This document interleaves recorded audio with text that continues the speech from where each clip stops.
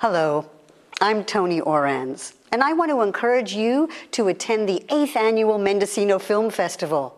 Films have power, power to broaden horizons, open hearts, and inspire action.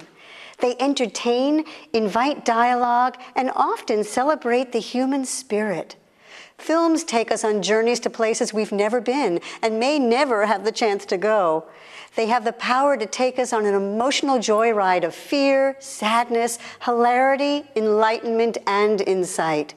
Look forward to a variety of films and meet the filmmakers at the Mendocino Film Festival May 31st through June 2nd.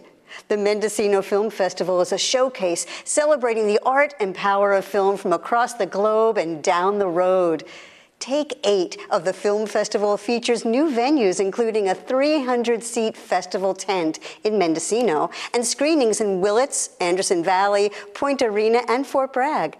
Tickets are on sale now and view the film's trailers at MendocinoFilmFestival.org. I'll see you there.